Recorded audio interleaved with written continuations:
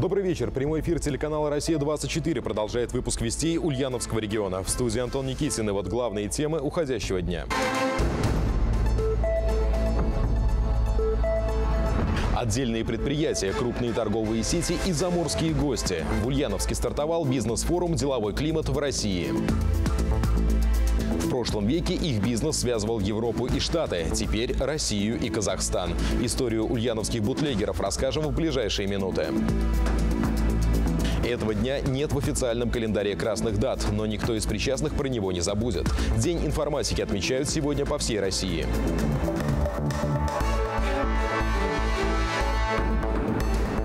Несколько десятков предприятий со всех уголков Ульяновской области, крупнейшие торговые сети и гости из-за рубежа. Сегодня в Ульяновске дан старт юбилейному десятому по счету бизнес-форуму «Деловой климат в России». В первый день работы участники форума собрались в стенах Ленинского мемориала. Здесь развернулась выставка продукции ульяновских предприятий, как крупных, так и совсем небольших, расположенных как в Ульяновске, так и в сельских районах, производящих как продукты питания, так и промышленные товары. Организаторы называют эту выставку частью своеобразной презентации ульяновских предприятий предприятий для потенциальных партнеров извне.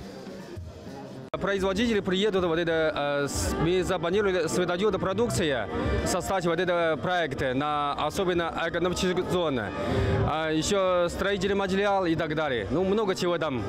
Мы хотим, чтобы побольше китайцев, э, предпринимателей, что приехал Ульяновск. Наша задача дорастить в случае необходимости э, того или иного поставщика, чтобы он в состоянии был и по упаковке, и по ассортименту быть поставщиком этих сетей. Это касается и продуктов питания, и промышленной группы товаров. Как было отмечено, предыдущее подобное мероприятие позволило предприятиям региона продать продукции на сумму не менее 5 миллионов долларов. На сумму не меньшую это и рассчитывают и в нынешнем году. Кроме того, в рамках форума состоялось награждение победителей конкурсов «Инвестор года» и «Инженер года». В частности, муниципальным образованием с наиболее благоприятным для предпринимательства климатом признан Меликесский район. А в различных номинациях «Инженера года» отметили как теоретиков, так и практиков. Этом году я больше сделал упор на промышленность и достигал внутренних побед на предприятии. Сейчас э, официально бумаг не так много получено за этот год, но внутренних побед намного больше. А что вы имеете в виду под внутренними победами? Я имею в виду профессиональные решения, которые позволяют предприятию сократить издержки, повысить свою производительность. Согласно статистическим данным, за неполный 2018 год в регионе создано более 6 тысяч новых предприятий с общей численностью работников свыше 44 тысяч. Форум же продлится в течение двух дней. Планируется подписание ряда соглашений, в том числе о партнерстве с новыми предприятиями. О задачах бизнес-форума «Деловой климат в России» сегодня более подробно пойдет речь в программе «Тема дня». Гость в студии Руслан Гайнеддинов, председатель Совета директоров Корпорации развития промышленности и предпринимательства Ульяновской области. В эфир «Тема дня» выйдет сразу же после выпуска новостей. В Ульяновске в рамках обмена опытом побывала саранская делегация. Ее возглавил градоначальник Петр Тултаев. Гости посетили индустриальный парк Заволжье, а еще знакомились с функциональными возможностями физкультурно-оздоровительного комплекса «Орион». Интересовались также и системой обучения в губернаторском лицее. Глава Саранска также познакомился с организацией работы по содержанию и уборке дорожно-транспортной сети в Ульяновске. Итоги визита подвели на совместной встрече глав Ульяновска и Саранска. Стороны обсудили возможные направления сотрудничества. Очень много делается по благоустройству. Дворовые ли это территории, а, общественные пространства. Создаются условия для комфортного проживания людей. Это немаловажно. А, в, в ремонте, содержании дорог, строительство дорог. Это очень-очень хорошо. И э, создание рабочих мест. У вас очень много новых рабочих мест в городе появилось, причем высокотехнологичных. Одним словом, Э, мы для себя очень много интересного почерпнули. Я и сейчас уважаю и восхищаюсь городом Саранском. И, а тогда мы вообще ходили, смотрели и удивлялись, когда нам э, мэр города показывал, как прокалывают, э, не копая асфальт, оборудование. И там мы еще тогда этого не видели. В конце совещания было подписано совместное соглашение. В документе отражено желание соседних городов продолжать обмен опытом. В конце встречи обе делегации обменялись и памятными подарками. Ответная поездка намечена на начало следующего года. А не лопнет ли? 13 415 бутылок алкоголя привезли из Казахстана в личное пользование. Все в дом, все в семью. Именно так пытались объяснить обвиняемые свои действия. Бутлегеры или подпольные торговцы спиртным оказались на скамье подсудимых после необычной закупки. Прокуратура Чердаклинского района поддержала обвинение по уголовному делу. Статья – приобретение, хранение и перевозка в целях сбыта немаркированной алкогольной продукции. Зарипов и Мулин перевезли из Республики Казахстан на территорию Российской Федерации в Ульяновскую область 13 415 бутылок немаркированной алкогольной продукции на общую сумму более 3 миллионов 300 тысяч рублей. Указанную алкогольную продукцию э, они намеревались сбыть на территории Ульяновской области. В ходе судебного следствия прокуратуры Чердаклинского района Ульяновской области доказана виновность виновность Зарипова и Мулина в инкриминируемом преступлении. Бутылки, половина из которых не соответствуют ГОСТу, уничтожат по решению суда. Виновных накажут. Так, неудавшемуся бизнесмену Зарипову придется провести в исправительной колонии общего режима два с половиной года. Мулину в колонии строгого режима два года и два месяца приняли в большое дружное сообщество. Самых маленьких учеников Мариинской гимназии Ульяновска посвятили в гимназисты. Теперь у первоклассников, кроме учебных дисциплин, появился еще и новый, ко многому обязывающий статус. На торжественной церемонии побывала и наша съемочная группа.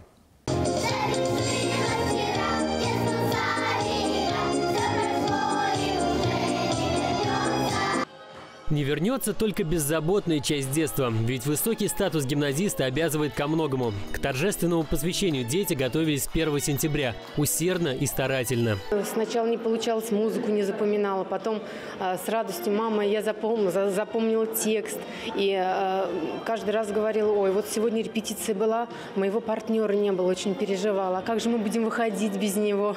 И очень много вот таких волнительных моментов. Но вот вчера она сказала, все, я готова. И все ради праздника, который они запомнят на всю жизнь. Для этого дети репетировали по несколько раз в день и посещали музей истории Мариинки. Перед собравшимися в зале педагогами и родителями 107 самых младших учеников произносят торжественную клятву гимназиста. Клянусь беречь честь знамени, честь гимназии, свою честь. Клянусь! Я учила гимн. Мы готовили красивый танец нам старшеклассницы рассказывали историю нашей гимназии.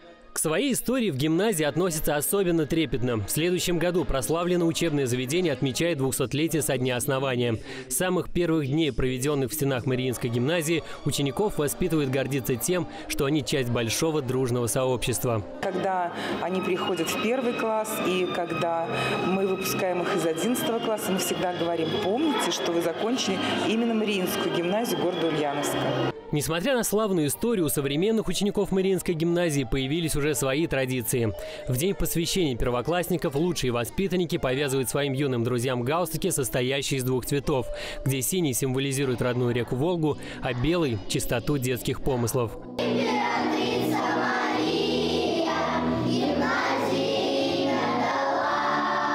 Павел Игнатьев, Алексей Прохоров. Вести. Ульяновск.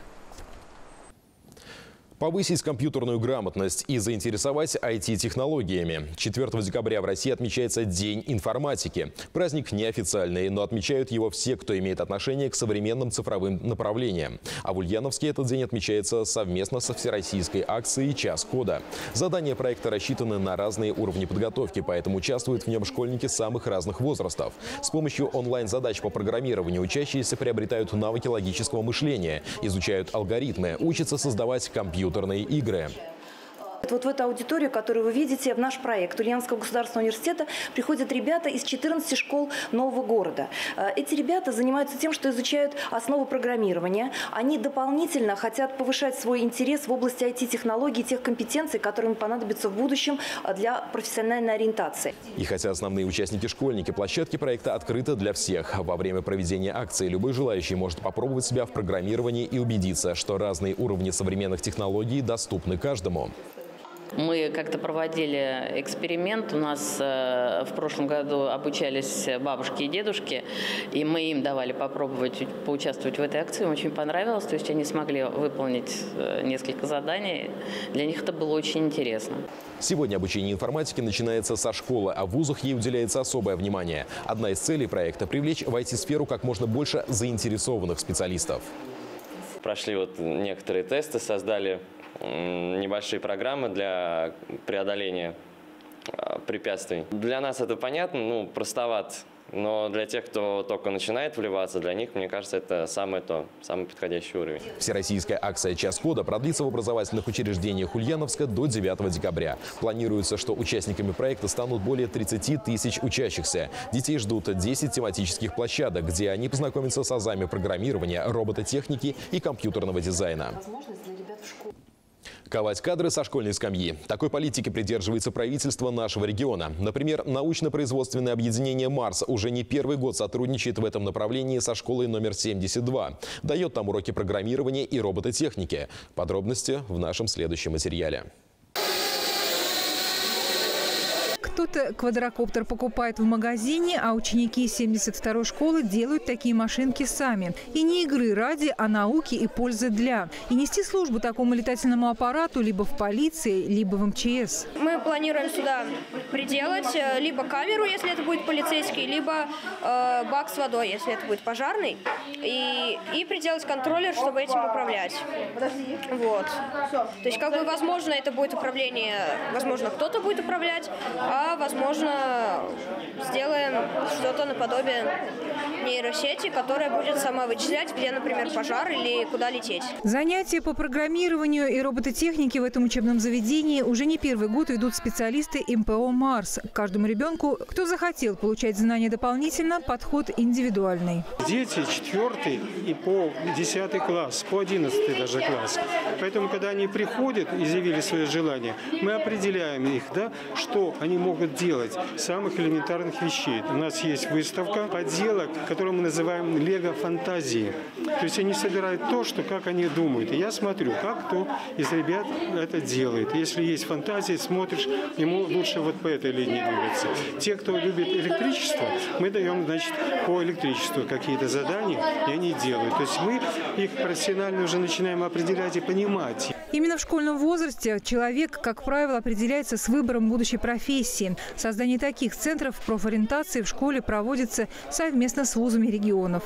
Нам уже прислали для наших школ такие а, квоты для наших детей, которые учатся вот в этих классах и занимаются, соответственно, этими направлениями, а, целевые места для поступления на те профильные направления специальности, которые нужны в будущем а, как специалистам НПО «Марс». Ну и далее идет сопровождение, то есть со школьной скамьи, студенты, базовые кафедры и трудоустройство.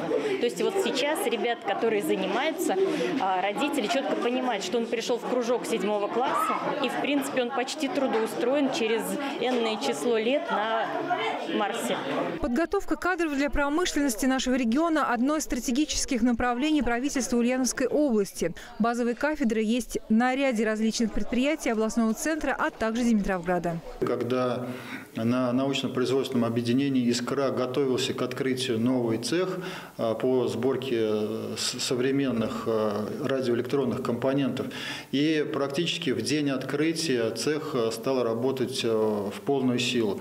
Это позволило только то, что заранее уже а, те люди, которые а, готовились, скажем так, в университете на базовые кафедры этого завода, а, понимали, что им необходимо сделать. К слову, на сегодня в нашем регионе есть уже даже профориентационные детские сады. Елла Шахова, Алексей Прохоров, Вести Ульяновск.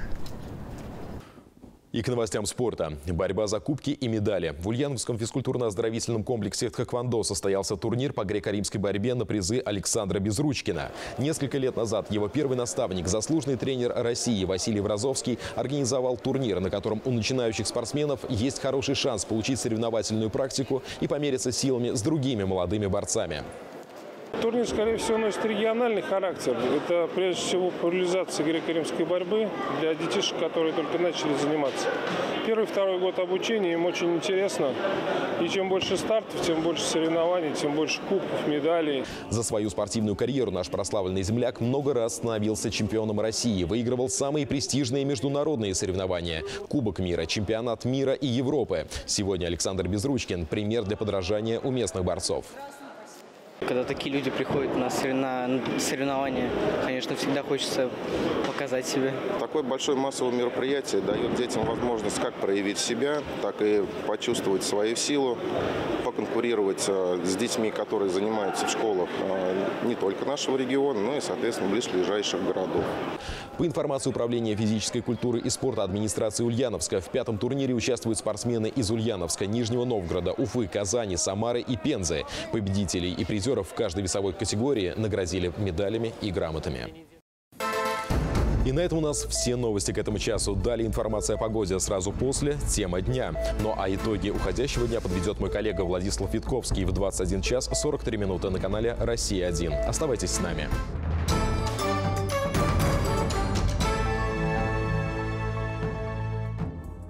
В ближайшие сутки атмосферное давление существенно не изменится. Ожидается переменная облачность, преимущественно без осадков. Ветер юго-восточный слабый. Температура воздуха ночью по области от минус 5 до минус 10 градусов. В Ульяновске минус 6, минус 8. Завтра днем по области от минус 1 до минус 6. В Ульяновске минус 2, минус 4. На дорогах местами гололедица.